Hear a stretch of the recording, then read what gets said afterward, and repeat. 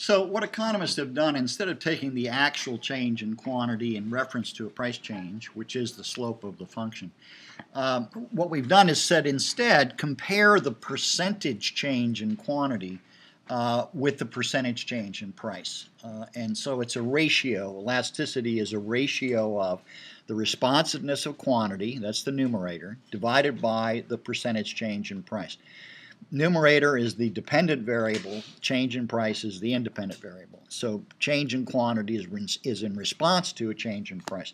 The same thing's true for supply. Percentage change in quantity being produced in response to the percentage change uh, in price. So the simplest method of calculating a percentage change is simply to take the starting point, take the amount of the change, and then you know, and then divide through to get a percent. If I said to you price went from a dollar to a dollar ten, what's the percentage increase? You see, you just know it automatically, right? It's 10%. But the way you actually got that was to take the change in price, which is 10, divide by the dollar, which was the starting point, and that's how you got uh, the 10%. Uh, uh, so, so that's the simple way uh, of doing it. The problem with point elasticity, though, is that if I take two points on a demand curve, such as, oh no, now it's doing this.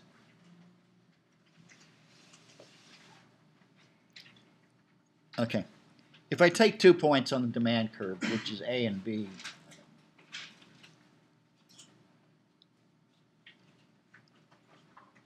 which is 4 and 6 and 120 and 80, which you have in your notes in the printout. Um, but irrespective of that, you can just see what the problem is. If you measure from, from the high point downward, then the high point is your base reference point, right? And if you measure from the bottom, B, upward, then the, the change in price is the same, but the, but the reference quantity is different because the end point is, is, uh, is different. So we calculate what is called arc elasticity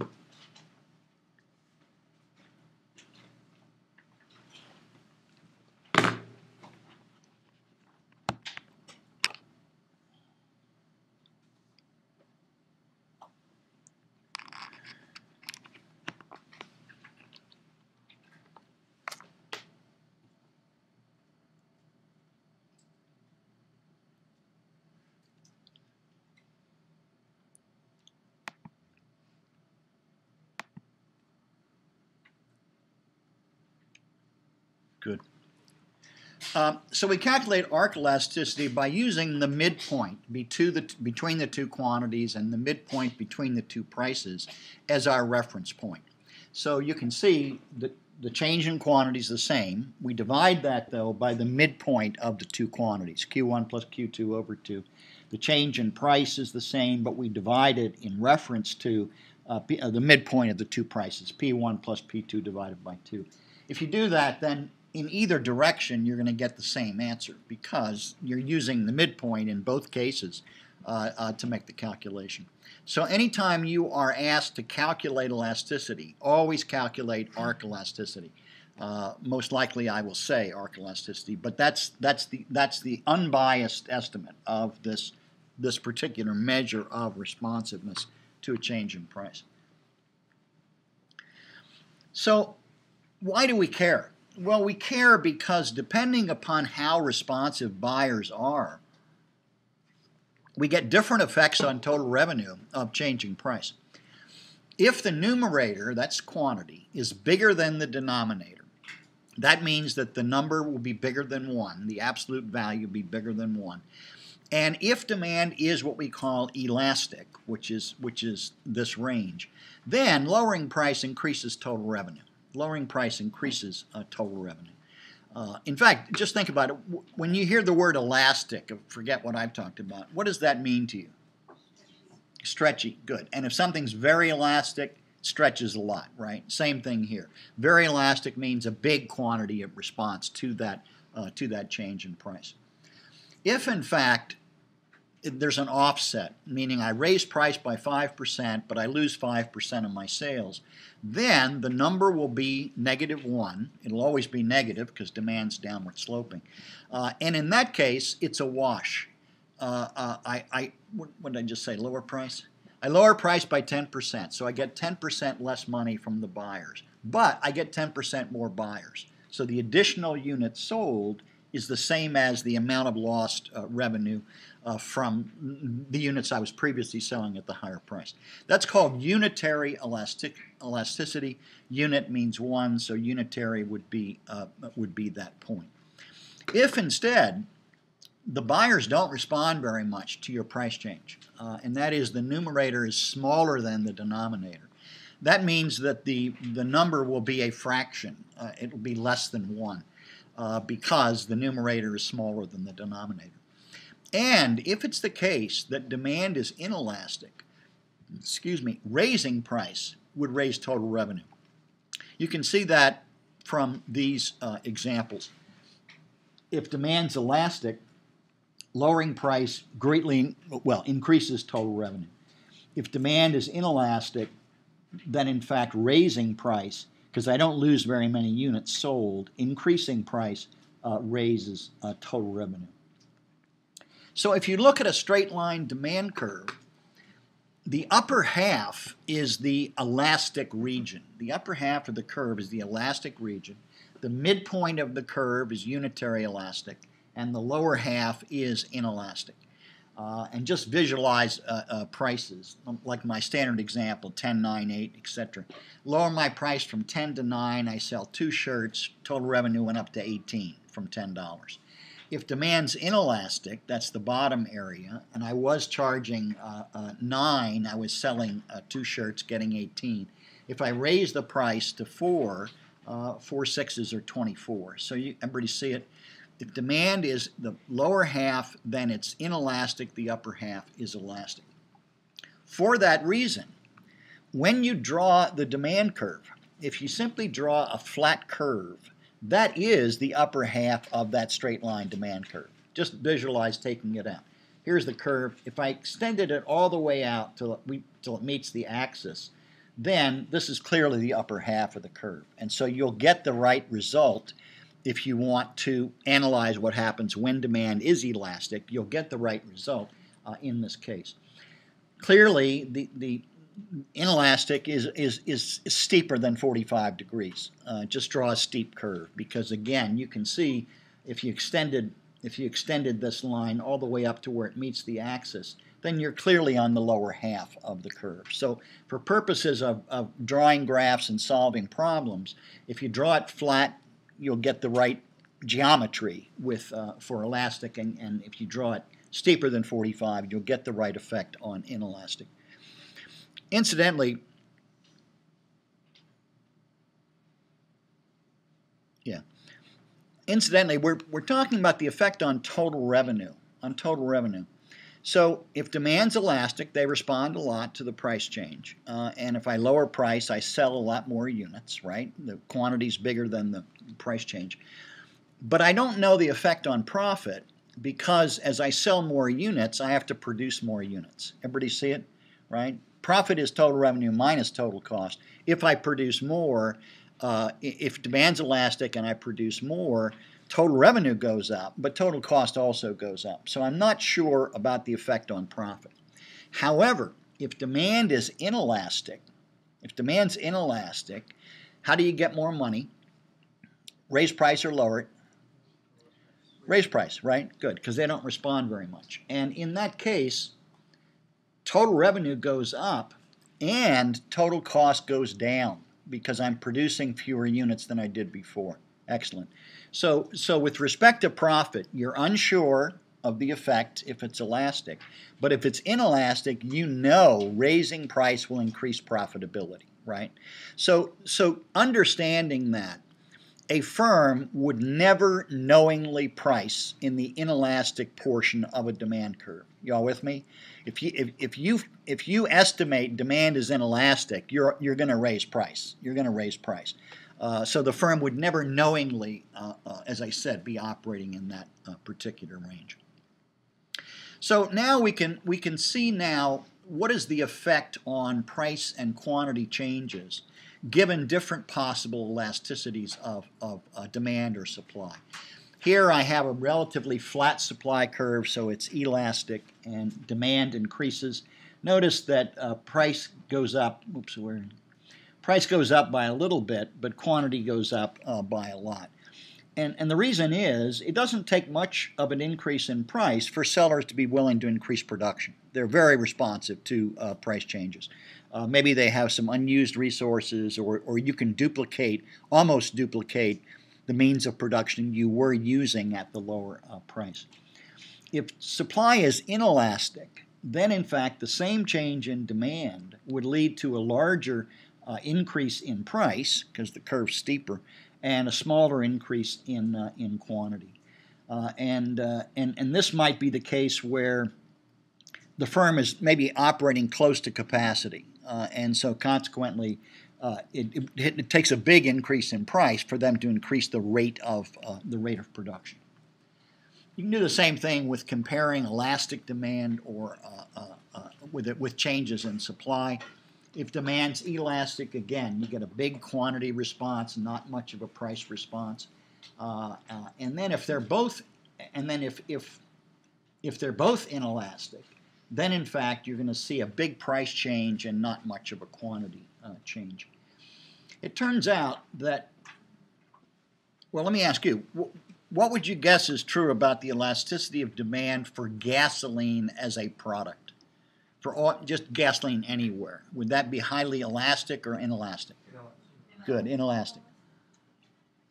And and and you guys know this. When you go in, often you don't even look at the price, right? I mean, you might look at the dollar part of the price, but prices go from you know 325 down to 290, and then they go up to 340 and and so forth. You hardly change the amount you buy. In fact, you probably fill up the way I do, uh, unless it's close to the end of the month and you know and budgets are constraining. But um, so so demand for gasoline is very very inelastic, and uh, and it turns out that supply is also very inelastic right now because, number one, we have not built a refinery in the United States in 30 years. We have not increased our refining capacity in 30 years in the United States. What used to be the case, if you look at the uh, supply of gasoline, was it used to be relatively elastic because when we went into the Middle East, and discovered that, well, in fact, I'll tell the story. When we went into the Middle East after World War II, the geologists had figured out that there's a lot of oil underneath all these countries. So the seven major oil companies in the United States divided up the market so they wouldn't have to compete with each other. So they actually did a lottery, and uh, and Texaco got, uh, I think it was Algeria, um, and and, I, and, and maybe Exxon got Saudi Arabia, but they went out to meet with the sheikhs who run these countries, and they said we'd like to buy your oil, and the sheikh said, okay, but uh, um, we don't have any way of getting it from we, we don't have way, any way of pumping it because there's no electricity there, and the firm said, well, we'll we'll we'll put the electricity in. Well, there's there's no roads to these areas where you want to drill. Oh, we'll put the roads in. Right, good. Okay, but we have no way of getting the oil from there to the port. Oh, we'll put pipelines in. Right. Uh, well, that's good, but the port is so small, the big tankers can't come in. Well, we'll build the port. Y'all with me? Good. And so the sheikh said, well, if you're willing to do that, yeah, let's let's enter into a contract. And so they agreed on a price and so forth. And uh, and then these firms put in millions of dollars, tens of millions of dollars to build out the infrastructure in these countries uh, uh, to produce. And then after it had been done, Algeria said to Texaco, um, "We're nationalizing all of that. That now belongs to us. Everything belongs to us." And they said, no, no, no, we had an agreement with, with the sheikh. That sheikh's not here anymore. I'm here, and now we'll talk about price, right? And so I love to tell the story because these guys are all from Texas. And they all they all felt like they really, you know, uh, what is this guy's sheikh? Look at what he's wearing, right? And they thought they would re- they had really won. And then the sheikh said, "Now we'll talk about price." As I started to say, Saudi Arabia decided to put in twice the capacity of what Exxon was wanted to buy. Uh, they said, I want the pipeline twice as big and I want the, the drilling to be able to produce twice the volume. The reason was that they wanted the ability to expand production if demand went up or price went up, but they also had the ability then, by restricting output, to, in fact, uh, get the price up. And so OPEC was formed, the Organization of Petroleum Exporting Countries, and Saudi Arabia was the leader in that. And uh, uh, and so that was the that was the the reason for doing it. But so I started to say initially because Saudi Arabia had this excess capacity, supply world supply was relatively elastic. What's happened over time is that demand's increased, and now Saudi Arabia is very close to capacity. So and, and, and so are the other uh, the other locations. So the supply is relatively uh, inelastic. And you've already said that demand is very inelastic. So both of those curves, it, it takes a big price change to change the quantity demanded or the quantity supplied.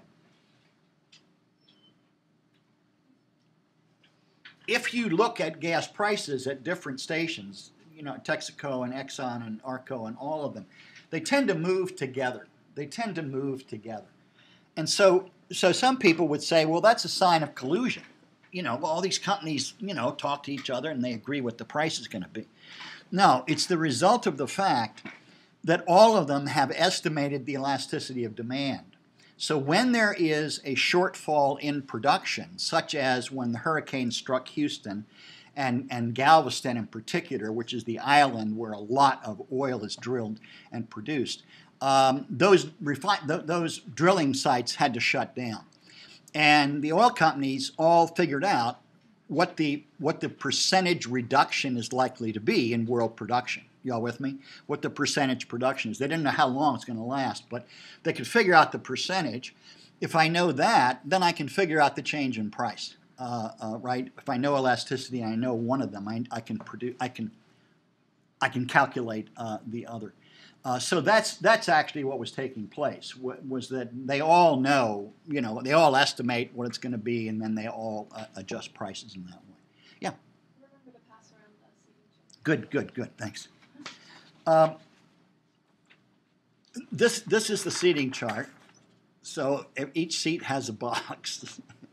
and uh, what you want to do is fill in, number one, you're going to fill it in upside down from the way you're sitting because I'm the one that wants to read it, right? So when it gets to you, simply put in your first name, whatever you go by, and, and your last name, and just print it uh, uh, in there. Also, be sure that you get the, like, like this is that wall, right? And this is that aisle. I had one class that, that just couldn't do it. the third row just kept putting themselves on the opposite end. So when it gets to you, make sure that you uh, that you're in the right seat. So that's you first and last. Good, thanks.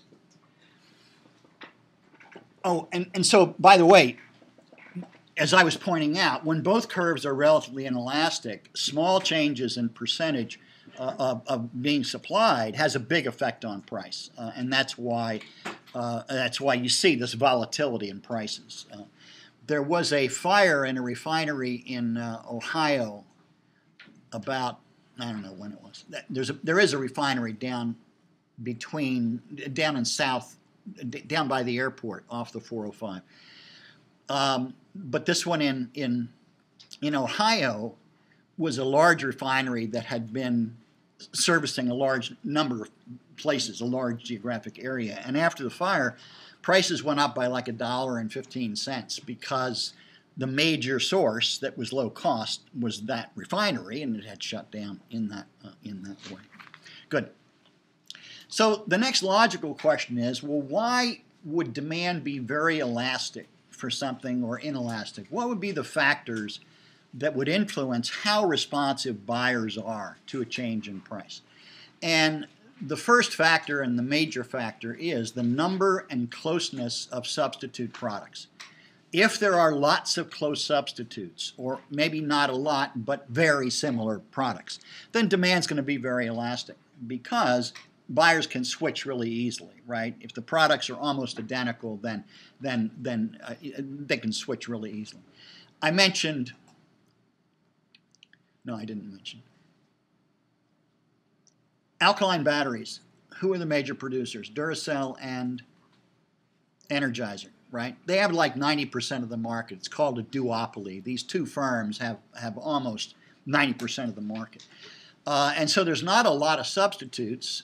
If you buy something, if you buy like a toy, you may have Korean batteries in it when you first buy it. And Kirkland makes batteries, but but as I said, these two companies make up like 90% of the sales. But even though there's only two companies, demand is highly uh, elastic because they're so similar, right? They're, they're just almost almost the same. Good.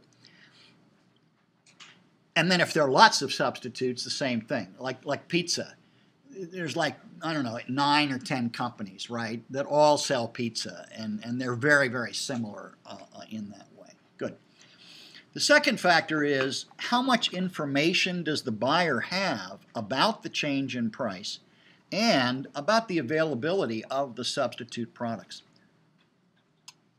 The more you know about the price change, and, and the more you know about where are the alternatives, the more elastic demand would tend to be you know, you buy stuff like I do, and sometimes you don't even look at the price, right? You just go into 7 Eleven, pick up the chips and the beer and whatever, and just, you know, buy it and go on out. So initially, people may not notice price changes, but clearly, as time goes on, people begin to see, wow, you know, there really has been a change in price. Good. So more information would be a bigger response, and obviously, you have to know about the substitutes in order to change and buy from them. So uh, uh, so the more knowledge you have about both or either, uh, the more responsive or more elastic demand will tend to be. Third is the percentage of your income or your budget that you're spending on this particular uh, this particular good. The the larger the percent of your of your income or budget, the more elastic demand tends to be. And just think about it. The reason is if it's a bigger part of your budget, then you're going to find out about substitutes, right? You're going to find out about it. You know, chewing gum goes from a dollar to a dollar and a quarter. Well, you don't even notice it, right? You just buy stuff from 7 Eleven. Well, that's a 25% price increase. If your tuition went up by 25%, what would happen to the quantity demanded? It would go down a lot more, right? Good my son uh, designs websites and does commercial art for companies and does logo design and all these kinds of things. And we were talking about about his business, and and I said, "How much do you charge for changing a page on the website?" And he said, fifty dollars. And and uh, but but he has customers like the Johnsons have a, a tropical fish store in Santa Barbara and they have a different fish of the month. So every month they change the page and put a new picture up. But he also sell he also uh, has a has Verizon as a client.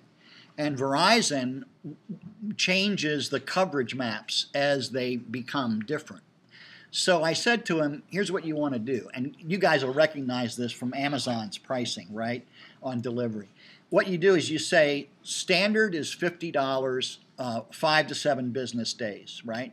Express is overnight, uh, two days, and that is one hundred. That that is, yeah, hundred dollars. And then if you want it done over, uh, if you want it done the same day or or overnight, that's two hundred dollars. Good.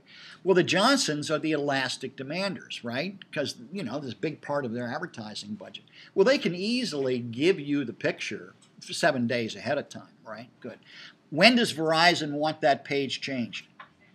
immediately. Good, because they're coverage maps and usually they're expanding and so forth.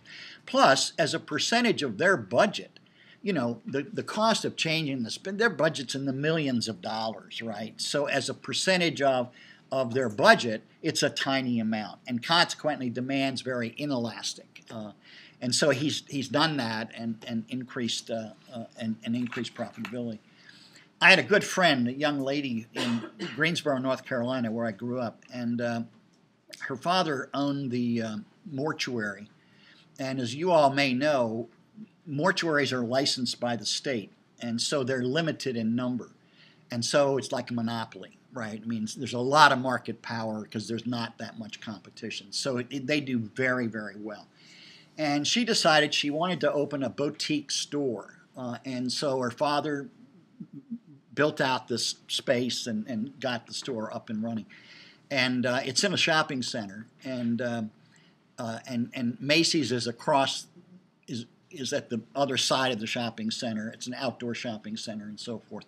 So I visited her Christmas four or five years ago and and went down. The store is just beautiful just beautiful inside. And all the pe- all the women are beautiful and they're intelligent right? They know all the products. They know how to cook. They do cooking demonstrations right? She has really high end flatware and placemats and and then standard also etc so i said how do you decide on your pricing? And she said i use keystone pricing Keystone pricing is 100% markup over cost. Y'all with me? Just called Keystone. It's very standard in retail. It's kind of a rule of thumb, right? Uh, that's about uh, what I would do. And uh, she had this gigantic globe, this gigantic globe. It was like three feet in diameter. And then when you opened up, it was a bar inside, right? And it had places for the bottles and the and the glasses and the and and, and so forth and I said, uh, and this was this was before Christmas, uh, and I said, um, uh, "What are you charging for it?" And she said, 300 and uh, uh, and I said, "And what happened when you put it on sale?" And she said, "I sold out in two days. She only had five of them, right? She sold out immediately." I said, "For something like this, you you should start out at like nine hundred dollars because there's no close substitutes. Y'all with me? There's nothing real similar to that." around. So it's really unique. And then I said on your flatware, where or on your placemats where Macy's carries the same one, I would price 10% above Macy's price. 10% above because your store is more fun to go into than uh, than Macy's. Uh, uh, and we talked about a lot of other things uh, uh, in a similar manner. So she changed her pricing, and I saw her the next Christmas, and she was really excited because she made a lot more money, right? She didn't give me any of it, but uh, but we did well. Good. And then finally, the amount of time following the price change will have an effect on elasticity. And it's such a strong relationship that it's actually called the second law of demand. And that is, over time, people adjust more to a change in price. People adjust more over time. Demand is more elastic over a longer uh, period of time there are only three laws in economics. First law of demand, downward sloping. Second law, more elastic. And third is a law about production. Why is that the case? Well, because over time, people get more information about the price change uh, and about available substitutes. Um, years ago, beef and pork were, were major, beef was the major source of meat. Chicken was sold, but it was usually fried. People would fry it, right? There weren't a lot of, well, there weren't a lot of recipes for it. Had a drought, beef went way up in price, uh, and so and, and and and so chicken is a substitute for it, and so people started turning towards chicken. But over time, all these magazines, like House and Garden and all these magazines, came out with new recipes on how to cook chicken. Y'all with me? Right? And as that happened, a larger quantity switch took place because now people knew more alternatives about how to prepare uh, that food.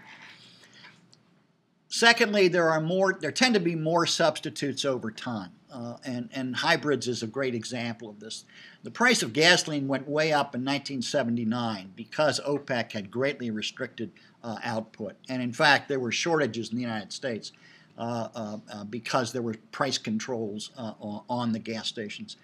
Um, and so people began, began to increase their interest in alternative forms of transportation, such as electricity, right, and eventually hydrogen.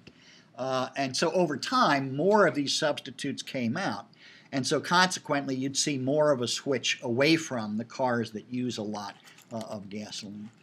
And finally, and this is important, over time, you have more time to adjust all the all the other goods that you buy that, that are complements to this particular good.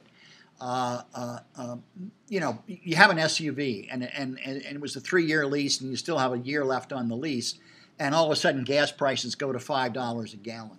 Well, you're going to cut back how much you drive, right? Some. But you're probably not going to cancel the lease because there's a big penalty for canceling that. But after that year, when you now look at vehicles, you'll look at what? Miles per gallon, right? Good. And so once you've been able to change that complement, which is the automobile in this case, then you, you see a bigger reduction in the amount of gasoline uh, being purchased. Um, uh, if gas prices are higher, when you move to a new area uh, um, for a job, you're likely to locate closer to the job than you are now. Uh, you know, it's unbelievable. There are people out in Thousand Oaks who drive downtown every day, every day. And, and it's just unbelievable. I mean, it's like three hours a day at least in their cars and stuff, right? Good, thanks. Um, uh, uh, so, so my point is, over time, people adjust more to price changes. More substitutes available, more information, and uh, ability to change these complementary goods. Good. Now, there are other elasticities besides the elasticity of price elasticity of demand. Uh, uh, you can measure the percentage change in quantity sold in response to any other variable, right? Any other any other variable, and it will always be the same. Quantity in the in the numerator, independent variable in the denominator. So I could calculate, for example, the income elasticity of demand, the income elasticity of demand our seller, our buyers, does changes in income have a big effect on the amount that they're buying uh, from me. And again, again, see quantities always in the numerator, and here percentage change in income in the uh, denominator. For most goods, which we'll call normal goods, it's a positive relationship. In fact, we, I did, I did, I did normal and inferior goods before when we talked about uh, the effects. Good. So for normal goods, it's a positive relationship. Income goes up, quantity demanded uh, goes up. Just a couple examples of that for uh, some actual estimates. Clothing uh, uh is about a 10%, uh, close to unitary uh, elastic. and um, 10% increase would lead to almost a 10% increase in quantity sold. Stereo units uh, have, a, have a high income elasticity of demand, and that is a 10% increase in income leads to almost a 30% increase in purchase. It doesn't have to be quantity. It doesn't mean you're going to buy three times as many stereo sets. So the adjustment could be in uh, quantity or in quality. Just buy uh, nicer things. Inferior goods, in inverse relationship. Income goes up, people buy uh, less of them. What would you guess is true about Starbucks coffee? Did I talk about this before? Would Starbucks be a normal good or inferior? Yeah, it is a normal, and in fact, it, it has a very high income elasticity uh, because uh, uh, changes in income lead to a big increase in demand for that if I were Starbucks, I'd want to locate my new stores where there, where incomes are rising. In what country have incomes been rising rapidly? China. Good. And so Starbucks already has like 284 outlets, and their plans are to put another 300 in this year. Either they're either in construction or they're on the books to be planned to, to be expanded. Good. And the reason is that that as incomes rise in China, there's a big increased demand for Starbucks. When I first when I first read that Starbucks was going to open coffee shops in China, I thought that is really stupid. The Chinese don't drink coffee; they drink what? Tea. They drink tea, right?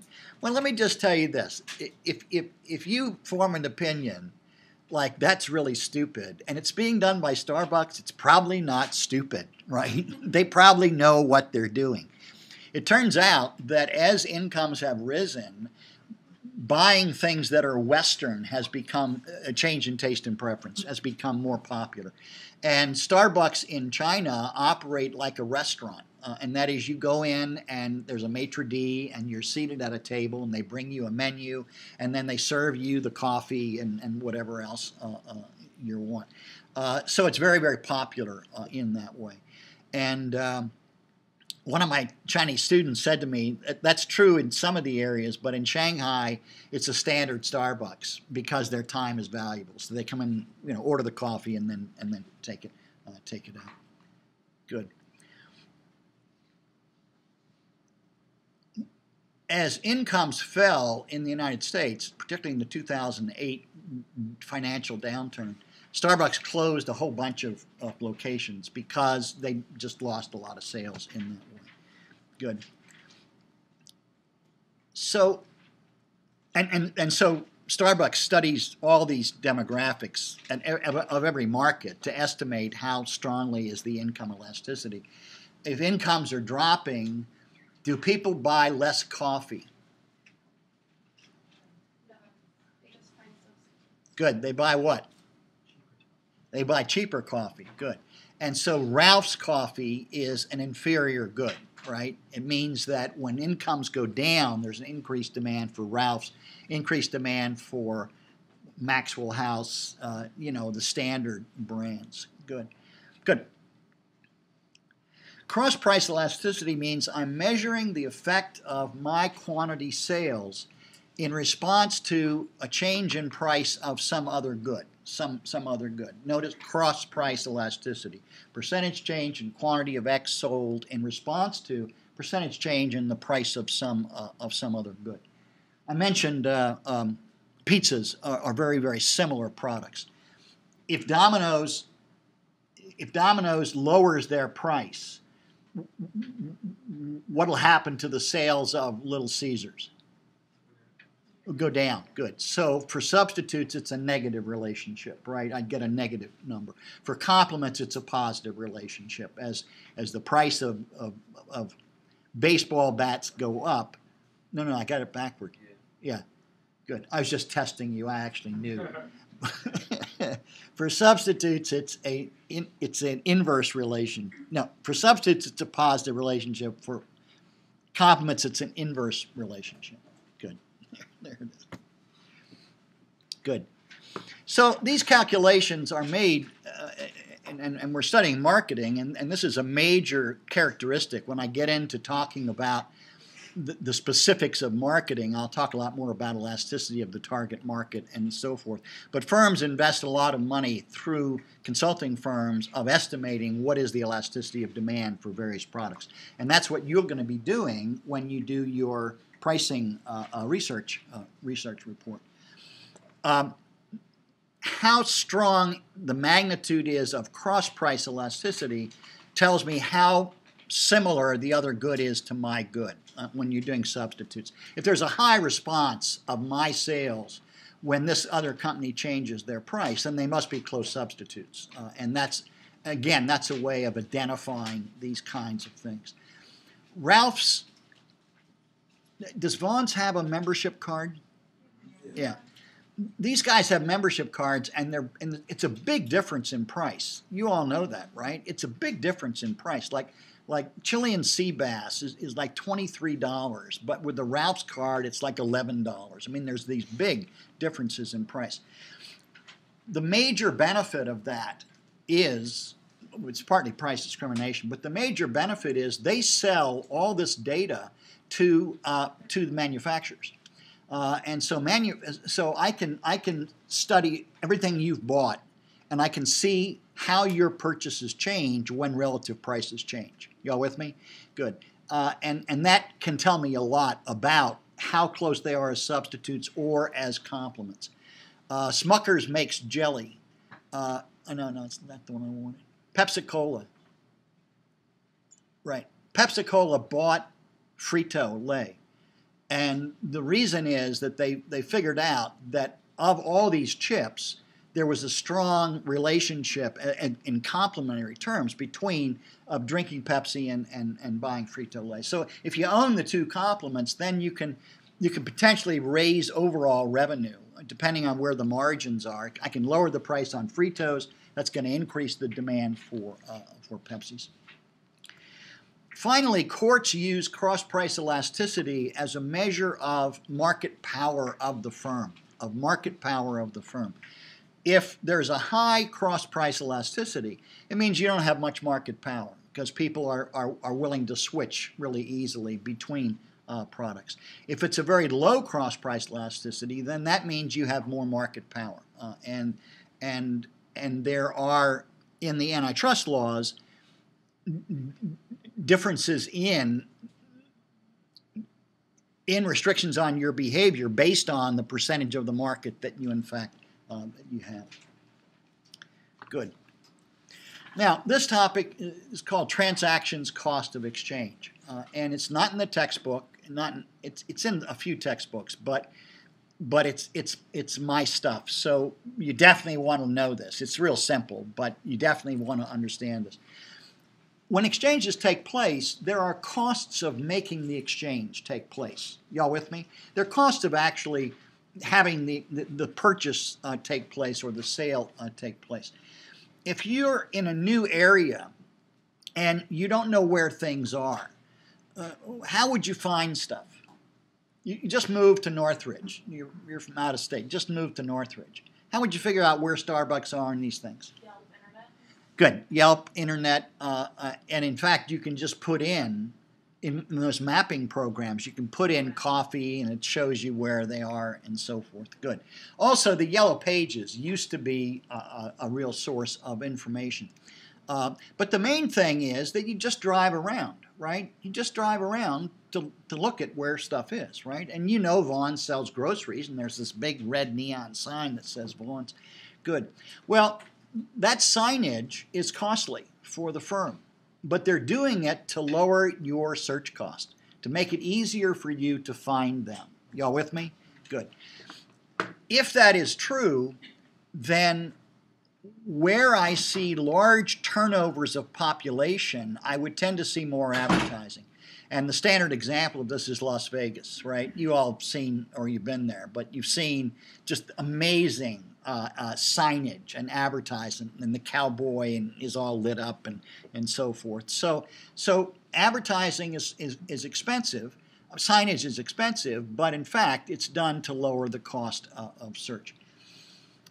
Thousand Oaks is a bedroom community uh, that was built, I don't know when, 50s or something. And I was driving up to Santa Barbara several years ago, and I, I was out of film, which tells you it was several years ago. And so I pulled off the freeway into this. I'd never been in Thousand Oaks, and I pulled off the freeway to get film, and and I and I got to a little shopping area, and and there's no signs. There's no signs. Like like in the valley, every every every corner that has like six stores has that big you know tower of advertising of what is there. No signs. And then I looked more closely, and they have wooden signs outside the store itself that's three by five, and, and they're allowed to put a light on it uh, at night. Now, this has changed somewhat since then, but the reason was when they built Thousand Oaks, they said this is a bedroom community, right? And so we don't want it to be highly commercialized. We don't want all that commercial signage and stuff.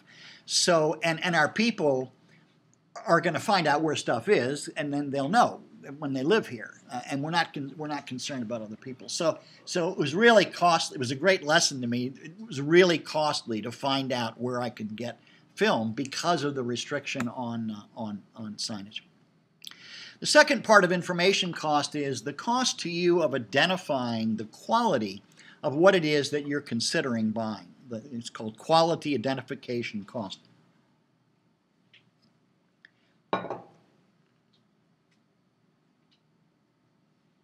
Grocery stores have all the produce out and available to you. Uh, and it's costly for them to do because some of it goes bad and so forth. But they do it because you want to, to hold on to the avocado, right? You want to thump the watermelon, you want to smell the cantaloupe, uh, you want to examine the characteristics of the product in estimating how much how much value you would get uh, uh out of it. Uh, uh, and so and so that's one of the reasons for stores carrying inventory, etc it used to be the case that electronics like TV sets and stereo systems were sold, and, and they still are, like Best Buy and, and these big, you know, big locations that carry them. But because the quality identification cost was very high, the salespeople were trained by the manufacturers to, to understand how the products work. You with me? And so they would ask you, like like they do on computers, how are you going to use it? And then they would recommend various you know combinations of, of quality. What's happened now with the internet is that it's very easy, as you know, to go on websites like CNET, which is a website that has reviews of all the electronic stuff, uh, and it's an independent uh, website, and gather information there about the quality of these particular uh, products. Amazon has that fantastic star system, right? Where you can immediately go in and, and you know, there's a thousand purchases and you can see the distribution of five star versus one star. I have this Tiffany lamp that has a beautiful, it's just a little desk, desk lamp, but it has a Tiffany uh, uh, glass cone right on it and uh, and I was looking to buy one, and and it was on Amazon, and and this guy had his review, and it turns out there's a series of holes in the top to allow the heat to to escape, and then there are two holes that are somewhat smaller, and that's where you insert the screws to hold it in place. So this guy was complaining that every he, he bought the lamp and the shade kept falling off the shade kept falling off. He so he set it back and he got another one. He said that one was defective too. It was clear to me what happened is he was trying to put the screw into one of the air holes, right? And and of course it fell off, right? So anyway, one of my favorite stories. And then obviously, like like on a car, you would really examine a lot of information before buying the car. And again, now I always buy used cars. Buy a car that's two years old with low mileage, single owner. And I can get all that on Carfax. I can get the whole history of the car, how long it's been on the road. And I saved like $8,000 on the Maxima that I bought uh, a couple of years ago. Uh, so it's really the way to do it. And, and, and, and also now you can, you can find out how much the dealer paid for the car. Uh, and then you do an internet purchase and you say, I'll give you $200 over what you paid you don't have to even pay a salesperson, right? Just deal with the with the company. Good. Second category is the cost of coming to an agreement between the two parties of what in fact will be exchanged uh, and and and and at what rate, meaning the price that you're going to pay uh, for the good. Uh, many many things are negotiable. Many many things are negotiable. Furniture is very negotiable. Mattresses are very, very negotiable. Y'all with me? Because there's big markup on these retail locations. Uh, and I went in and bought. What I did is I bought a mismatch of the box springs don't match the pattern of the of the mattress, right?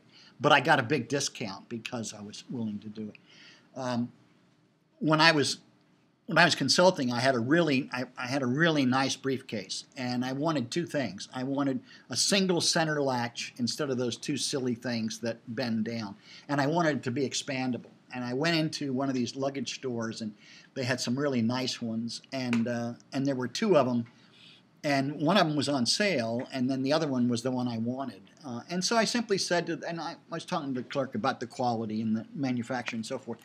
I said, you know, I really, I really I really like this one, but this one's on sale. Could is there something you could do for me on this? That's all I said. Y'all with me? I just said, is there something you can do for me in this? He said, let me check. He went back in the back, came back and said, yeah, the, the owner said I can give you 15% off.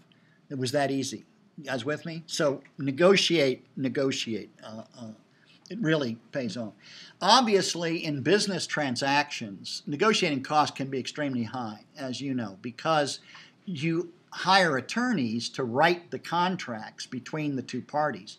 And the contract may be very complex because you want to specify what each person's responsibility is given all kinds of things that might change, right? Like an act of God or a flood or whatever the case may be. So negotiating costs can be very high for some kinds of uh, uh, transactions.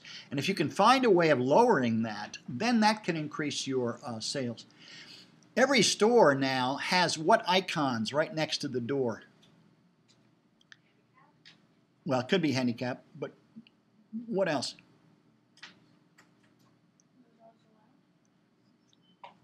Could be that. Yeah. you guys are great. Yeah. No, every store has like five of these right next to each other. Yeah, credit cards they accept. Good. And they're doing that again to lower your information cost, uh, uh, lower your negotiating cost. They're saying ahead of time, I will accept these means of payment. Uh, uh, and so that's an example of, of how you can undertake an activity that will lower these various kinds of costs and generate a bigger uh, demand. Finally, the simple one is transportation cost, the cost of actually moving the goods between the two parties. Uh, uh, and, uh, uh, and, and in fact, in fact, think about it now. When you check out, they're making it easier and easier for you to to pay, right? Uh, uh, I mean, what you're giving them is dollars, but now you can do it with your phone, right?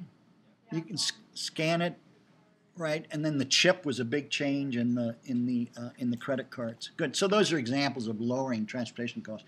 My daughter lived in Indonesia for three years studying Eastern religions, and um, we set up a little a little import business uh, into the United States, and they make these carved masks which are just magnificent, and the details are amazing. And I, we could get them for like like seventy five cents a piece, right? And then we could sell them for like nine, ten dollars, and the other ones twelve and fifteen dollars. So it was really a good opportunity. And they also had these these these um, CD racks that were a, a, like a little man, and they were out of ebony wood, and it's like a soldier, right? And then down the center was where you put the, the CDs into it. They had a small one, and then they had a large one. So I ordered like five of the of the tall ones, and um, and then everything you know was shipped over, and I went down to the docks to to get it. Well, it turns out that when you ship stuff, it's not the weight that matters. It's, I thought it'd be the weight, right? No, it's the size. Because think about it, it's, it's how much of the ship is your item taking up? How much space is it taking up? So I bought these things for like four dollars, and then the shipping expense was like eighteen dollars a piece. So in some cases, transportation cost can be a large portion of uh, uh, of the actual exchange. So so those are transactions cost, and as I said, and, and we'll do more of this when we do the, the marketing stuff specifically. But if you can find ways of lowering these kinds of costs, then in fact you can increase sales. Uh, and it's it's kind of like a it's it's a really great understanding of something that is not often talked about, but in fact can be very uh, effective. And that completes our discussion of price uh, elasticity. Good.